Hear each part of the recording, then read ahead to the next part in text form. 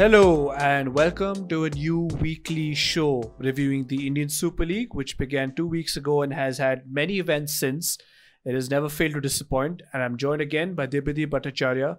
Um, I guess we we can't really move on to what happened the past week without talking about um, the big fight between Juan Ferrando and Gerard Nus in the dugout. Absolutely. I mean, that is something that you won't want to see uh, as a as a football fan. At the same time, I think nobody, uh, you know, uh, wants to avoid that kind of a fight because without the fans, the game kind of has lacked a little bit of passion. But it's very good to see that the passion between the two manager, uh, you know, has uh, hit that kind of heights.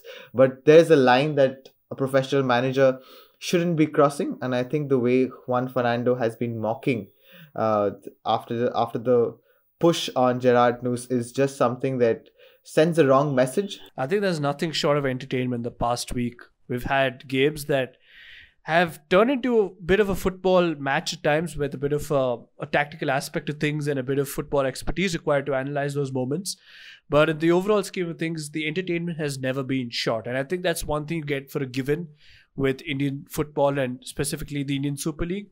There's always entertainment. Is it be it the referees, be it the managers, be it the players, be it the fans it's always entertaining. Um, and I think that's something that goes under the radar in the Indian Super League. Um, people tend to think it to be a very minor league that doesn't really produce the same level of hysteria that the European leagues provide.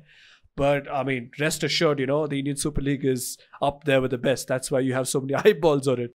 Absolutely. I mean, there's there's such a such an ignorance about the Indian leagues uh, because I mean fans in India are so much uh, spoilt with the Premier Leagues and the Champions League and the La Ligas that they somehow can't appreciate the quality that the Indian players and the foreign players playing in the Indian leagues uh, they kind of have. And I think uh, something like that has been really uh, showed by the Northeast team and how they have performed in uh, in the first two games because uh, any anybody looking at the team sheet would have written them off from the league, but they have they've kind of stamped their presence with their kind of performance. Uh, what do you think? How they have performed? Yeah, I was just going to say let's talk about Northeast because that seems to be a very good uh, team to talk about uh, at the start of this uh, review show. Um, the surprise story so far, definitely by country mile, and under the managerial expertise of their, um, I think it's fair to say he's a very inspirational character, uh, Gerard Nus. Um, of course, a disciple of Rafa Benitez in his earlier days. And he's still young, you know, he's still in his 30s. He still has a long way to go in his managerial career. But from what I've seen from him, he just wants me to want to like him. I mean, such a likable character. He comes on the interviews after the game and, uh, I mean, goes on an F bomb and stuff. I mean, this is fantastic. You, you've never seen characters like this in Indian football, I'd say. And um, to see so much raw emotion from both the players and the manager is quite quite a unique thing. Yeah, and and I think that's something that a lot of teams have been lacking on because a lot of teams, uh, the big names, especially the Mumbai's and the ATKs, they've been relying on the foreign signings they've had. You've seen the kind of uh, you know impact Hugo Boumous and uh, Jahouh have had. Uh, how much Roy Krishna has had an influence in the game. Uh, whereas for Northeast, I think he's got the best out of his Indian players. They look like a team that that has cohesion in them, and all of the players are kind of implementing and executing the plans equally. And I think that's that's what makes them uh, such a dangerous team because they don't look to sit back. They look to uh, you know go on the front foot, try and press the teams, which is which is fantastic fantastic to see for a team uh, that you know people wouldn't consider to be a to be competing with the with the big teams. I think the intensity was there. I think the intensity is what we love uh, about Northeast United. I think they're very aware of the deficiencies they have in their squad. Um, if you stack them up on paper against, I think nine of the eleven teams that I said, you'd say that on paper they lack in terms of just sheer quality of the foreign signings and the Indians. But raising the game to that level, you know, I think intensity is the word to use, and um, I think the intensity kind of overshadowed or overruled the referee in many circumstances in the game against uh, FC Goa. Um, there were a few instances where uh, players were reckless in challenges and got away with it. Um, but what do you have to say about referees not having control of these games? We've seen maybe the first week was a bit of a dull affair where teams were trying to figure each other out. But now that the shackles are almost off, um, I think the referees are being exposed. The referees kind of uh, are kind of having it easy without the crowd to officiate games, but I think now I think the players are kind of trying to impose their personality on the referees. They're trying to influence decisions. They're trying to, uh, you know, get their get their say into their head. They're trying to get into the head of the referees because uh, the Indian referees don't have a history of being great uh, officials on the pitch, and even the foreign referees that have come to the ISL, they're kind of finding it really hard because players without the crowd, they're really raising their voice putting their personality on the pitch, which is making it difficult because not only challenge. Is it is it is it the challenging of authority that really brings the referees to a ground level rather than retaining any control of the game? I think yes. I think even even all of us in our playing days have have kind of taken advantage of a referee that hasn't been the most imposing himself and who hasn't punished uh, reckless challenges straight away.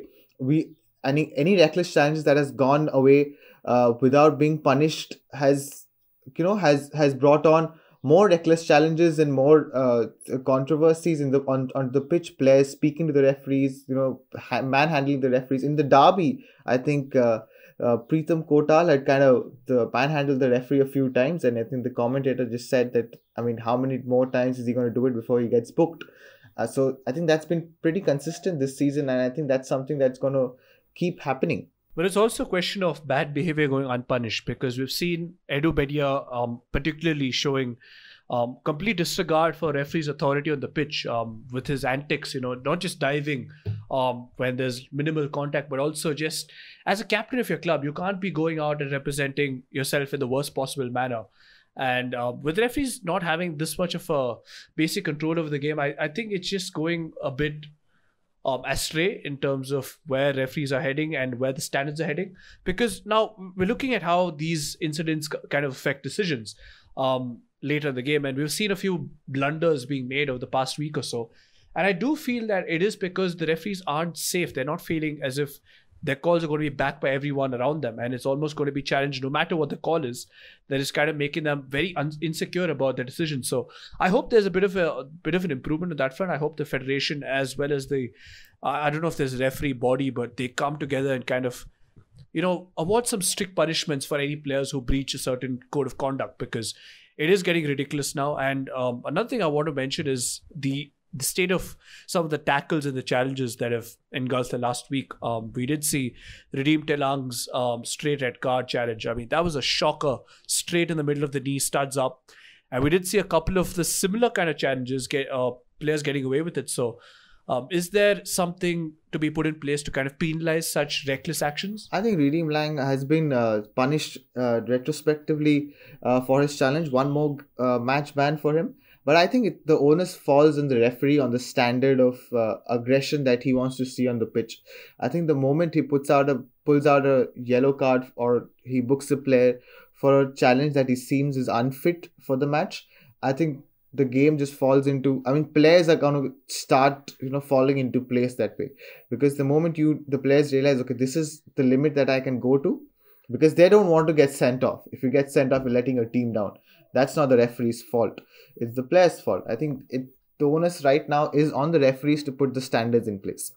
But tell you what, I mean, if I mean we're talking about hypotheticals here, but the main question is if Indian Super League had VAR, would it be better or worse? And I, in my personal opinion, it would be worse. What do you think? Absolutely. I think the VAR hasn't done anything to make football better. I think people are, I mean, you see now players are very public about how uh, dissatisfying the experience of a VAR is. Uh, and even with the facilities in Stockley Park, if the situation is like that, in India, it's going to be even worse. So there's no yeah, imagine. Why. I can only imagine the video assistant sitting on a beach in Goa, just pressing the wrong button. but uh, less said about it, the better. Um, I think there are big, big improvements required to get referees to a decent standard in Asian football. Forget world football. You know, we're not even comparing them with the best of the best. Um, slightly shifting our focus back to the football then and Northeast, we've mentioned them a couple of times.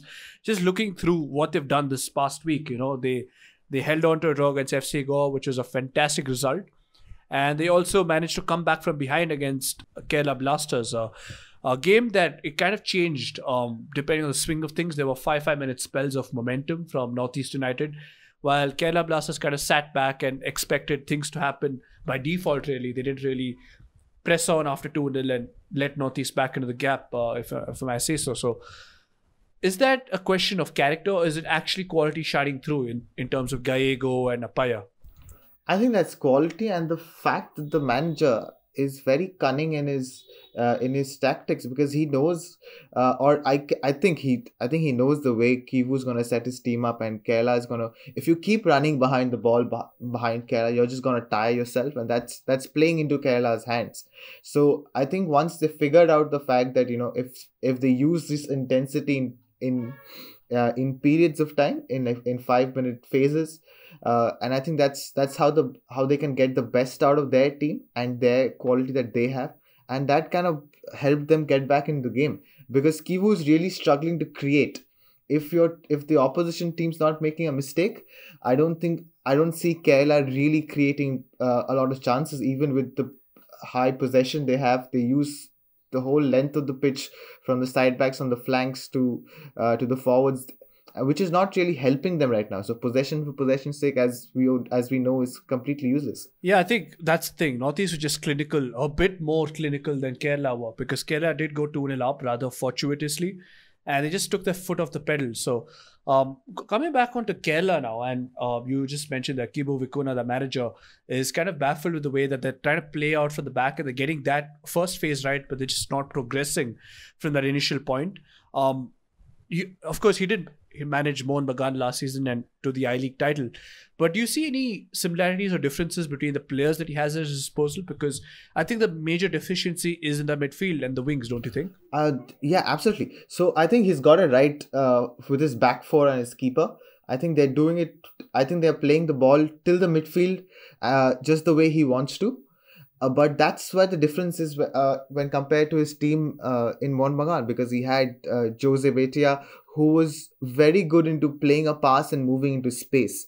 It's what he's what he emphasizes Kibu is playing in these half spaces in the in between the lines so that he can break the midfield press, which I think Kerala have been failing to do. And the one person they were going to look to uh, look to be able to do this with is Sahal, and he's completely out of the picture the last two games. So I think that's where he's struggling, and obviously.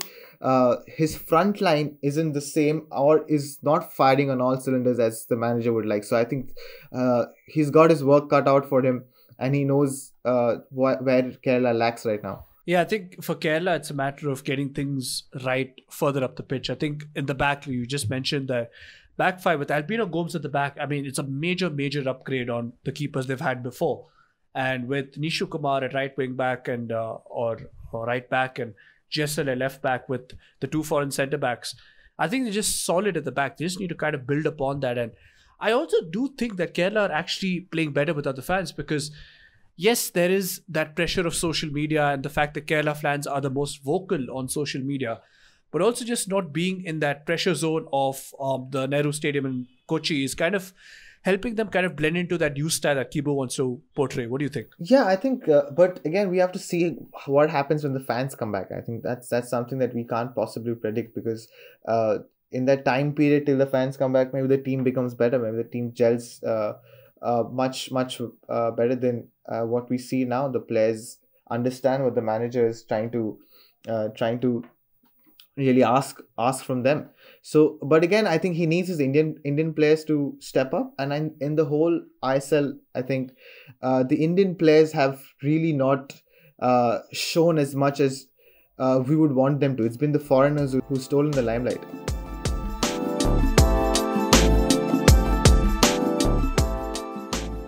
So robbie fowler gave a big big uh, comment um, yesterday about how Indian players look that they haven't been coached before. And this is quite a shocking comment because for many, it seems like Indian football was on the upward path. Indian players were destined for greatness in 10 years.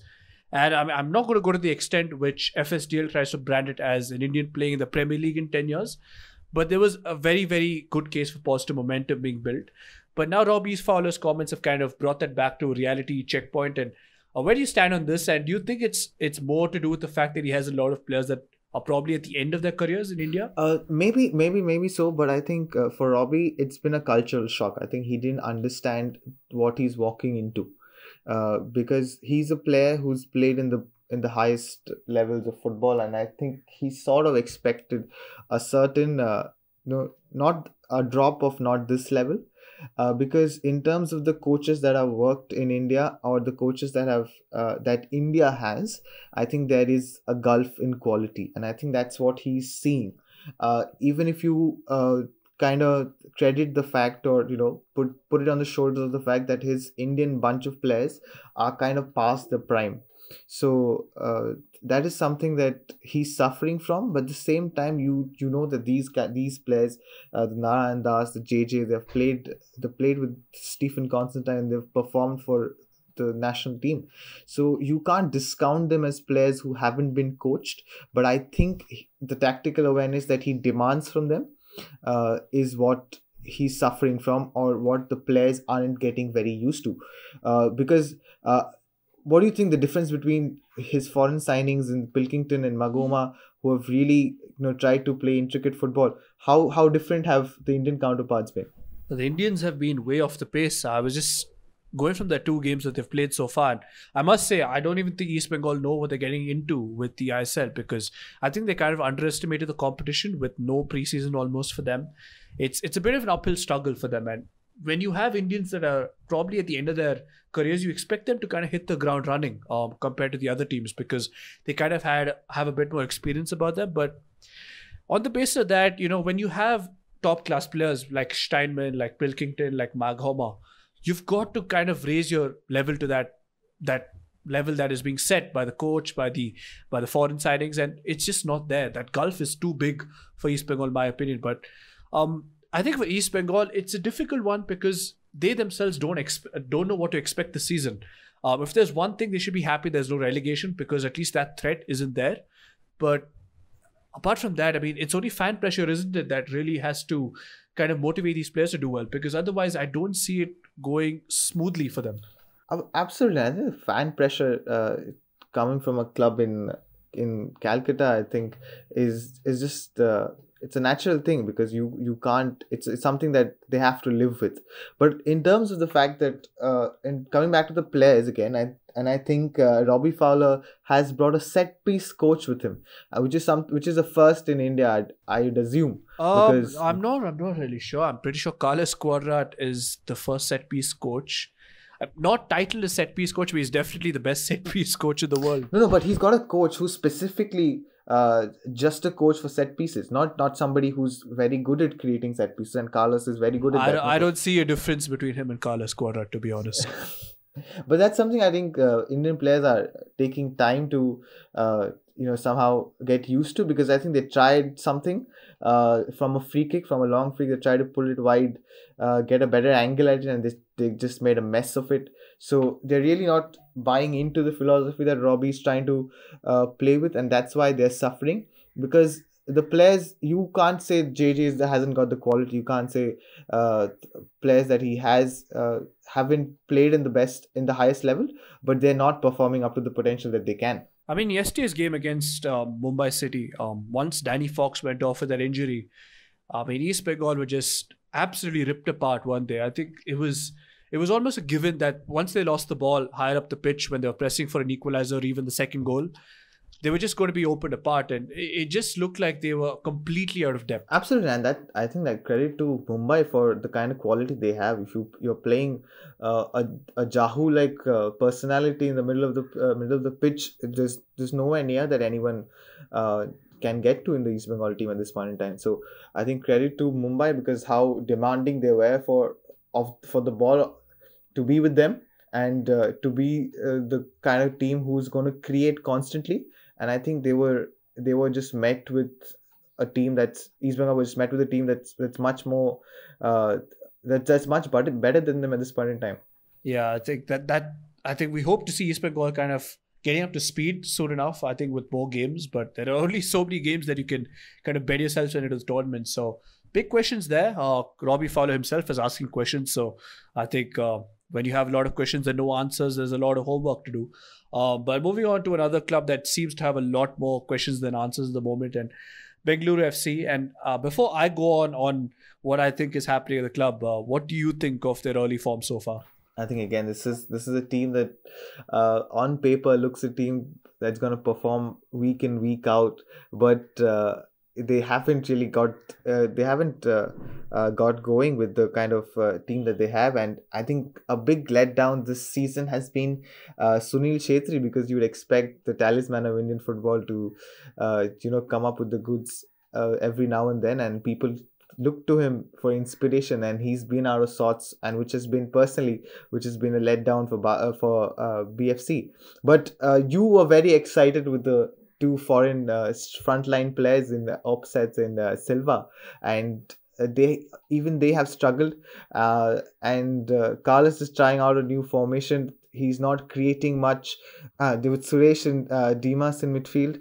Uh, so, so, where do you see them improving, and how do you see them improving?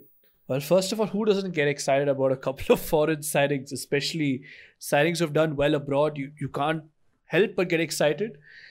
But I mean, apart from apart from a few plays that Cleiton Silva and Sunil Chhetri, I mean, Sunil Chhetri has been absolutely absent. Like, there's no way to put it. He just looks completely off the off the pace of the game. Uh, looks like he's kind of finding his rhythm um, into the team, and that's a big blow because BFC has relied on him for three seasons now in a row. Uh, while Miku wasn't playing, it was always Chhetri, and it seems to be like Carlos just can't coach. Um, I don't know what it is about him. Whether it's just his uh, inexperience as a manager, whether he just can't get together a side that can control the game and play because they have ball players. That's the, that's the most confusing thing for me. Uh, when I look at the team and I see Suresh, Erik Paartalu, Dimas Delgado, and you have a front four who are all very good players. Uh, when you try and play intricate play, kind of break down the opposition defense. And then you see Fran Gonzalez and Juanan launching balls to Opseth to kind of play him as a target man. I, am just bemused because I don't understand this. Under Albert Roca two seasons ago, um, they were playing such beautiful football. They were kind of keeping the ball, um, bring their opponents to come press them, and then they just beat them with um, very good football. But now it's just almost like they have no ideas, and um, it's it's a bit depressing to be honest. Because when you see players that have performed for two, three se- uh, seasons year in year out, um, that drop off is just not acceptable. But I also do think that BFC haven't really grown with the power curve. And by this, I mean the likes of Mumbai City, uh, ATK Mohun Bagan, FC Goa have constantly added to their teams um, in terms of Indian talent. And I don't think BFC have done the same. But uh, but would you say that uh, they're trying to play a uh, brand of football that's that's intricate and that's compli- uh, complicated? But for them right now, I think the message should be to simplify things better. Just simplify the way they kind of they're they're playing football. I think it's simple as it is, isn't it? At the moment, it's like launch the ball um, to the front line because I think at this at one point in the FC Goa BFC game there were six men on the FC Goa defense and there were like I think it was four men at the back trying to supply the ball to them. When there's no one in the uh, midfield trying to link the play, um, I think it's as simple as route one football. You're trying to chip the ball to the striker's chest, to use the phrase. Um, but I do think they need to be coached better, and that's where my questions over Carlos Cuadrat's credentials come in because he just seems a bit out of his depth at this moment. And even last season, um, although the BFC did have injury problems, um, it seems to me like he's just a bit out of his depth. Um, they either have to add a bit more quality to their Indian contingent because with uh, Harmanjot Khabra at the back, you're not going to expect too much from him at this age. Um, at the same time, Rahul Bheke has kind of dropped off the boil since his uh, great season two years ago. But uh, yeah, it's a bit of a difficult one. Um, I think the next few games will really paint a good picture of where BFC truly stands in the table because we all think of them to be a consistent league side, but so far it's not been so good.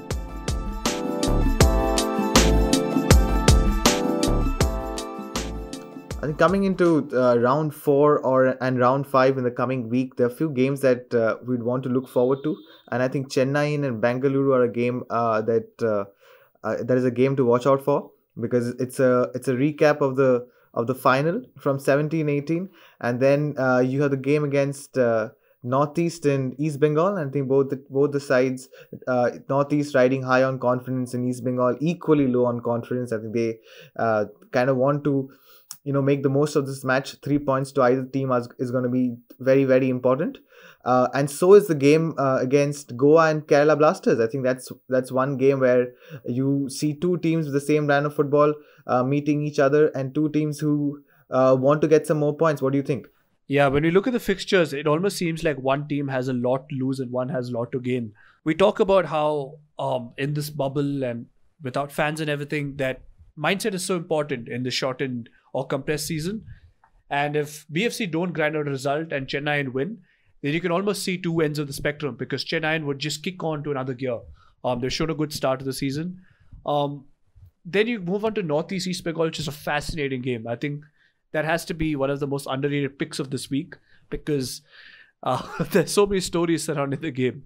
Um, I, I can't imagine Robbie Fowler can tell his players that they haven't been coached properly after that game, but a lot to be desired there in terms of that game. And just just looking through um, Northeast's approach to the games they've gone through this season, I don't think it's going to be easy, uh, easy for East Bengal. I think it's going to be quite difficult and probably, arguably, the most difficult test yet.